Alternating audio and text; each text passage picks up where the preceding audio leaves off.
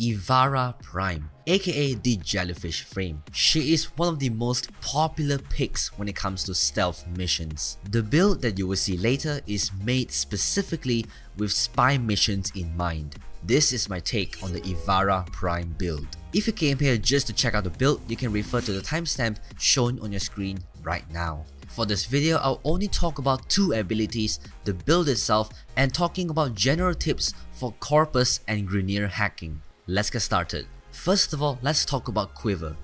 All of these arrows are super super useful when you use them correctly. Let's take a look at the cloak arrow. Some of you might think that this cloak arrow might not be so useful because you already have prowl, which is your third ability. It provides you invisibility at the cost of reduced movement speed. Cloak arrows are useful when you decide to be stationary in one spot. Instead of using prowl and letting it slowly drain your energy, you can just use a single cloak arrow, shoot it on the floor and then you will get invisibility without having to worry about prowl draining your energy.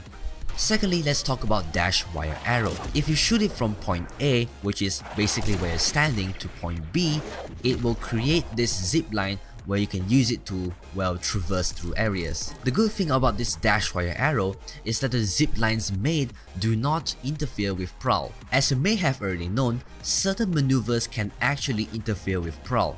For example, sprinting, sliding, and even bullet jumping. Which is why when you do any of the things mentioned, it will break your invisibility. Remember, this only happens with Prowl, not your Cloak Arrow. Again, coming back to Dashwire Arrow, when you are on the zip line, you can safely sprint across the zip line without having to worry about breaking your invisibility.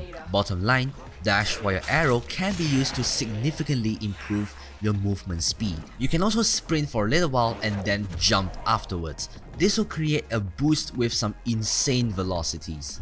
Like this clip for example, you can see how fast I travel through this corridor. Always try to make use of your dash wire arrows. For the noise arrow, it might be a very useless ability to most of you, but it is pretty useful when it comes to gathering enemies in one spot without having to alert them at all. And then you can combine this with a sleep arrow to provide some pretty good crowd control. The sleep arrow in general may not be as useful as Equinox's rest and rage, it's still quote unquote a nice to have ability. It's better to have this than nothing, you know. And then let's talk about Prowl, which is the main focus of this build. Prowl is a very self-explanatory ability. When you activate this, it will give you invisibility, being able to pickpocket enemies and as well as a headshot damage bonus, which scales with your power strength. Although this headshot bonus isn't really that useful because there's a lot of one-shotting weapons out there already, so we're not going to be focusing on this part of Prowl. What we're interested in is the augment. It's called Infiltrate. It allows you to walk through security lasers without hurting you and without triggering the alarms. And when you do so, it also increases your movement speed.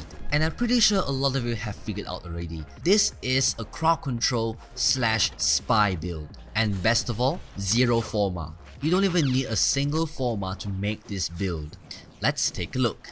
First of all, we have the power duration mods, which are Augur Message, Primed Continuity, and Narrow Minded. These three mods are going to give you more than 200% power duration. This is mainly to keep your prowl up and running for as long as possible and as well as a very long duration on your cloak arrow. This also affects your sleep arrow as well. Next, we have the range mods which are overextended and stretch. This is to give you a bigger radius for your cloak arrow and a better CC potential for your sleep arrow. And then we have a rank 3 fleeting expertise and streamline. This is pretty self-explanatory. You want to keep your prowl up and running as long as possible and as well as a lower energy cost for all abilities.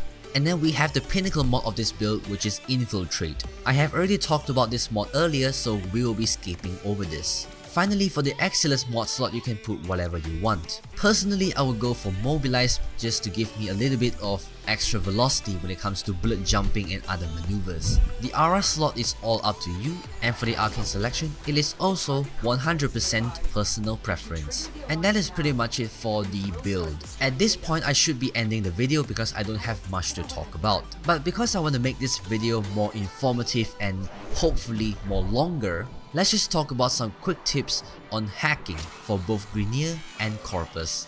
For Grineer hacking it should be very very easy because there is no time limit and it's all about reflexes. In higher level missions, you only get 3 chances before you fail the hack, but I'm pretty confident that 95% of you should be able to complete Grineer hacking without much problems because it's just so goddamn easy. For Corpus hacking, I have two quick tips for you guys. Over hundreds and hundreds of Corpus spy runs, it is highly recommended to always do the outer layer first. For example, this one right here.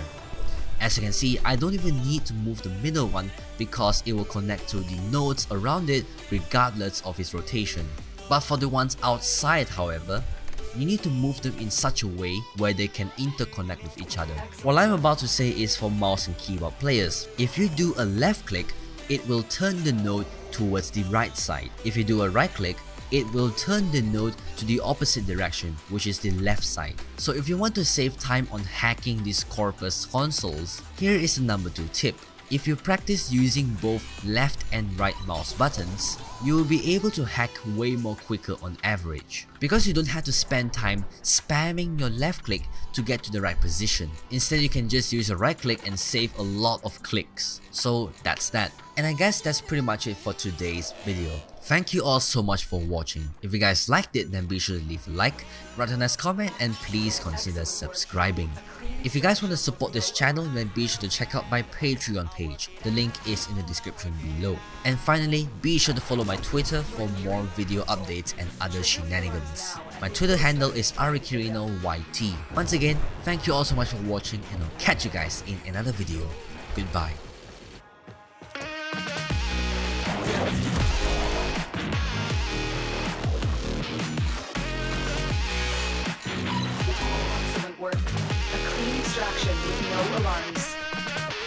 Have everything you're for. Get to extraction.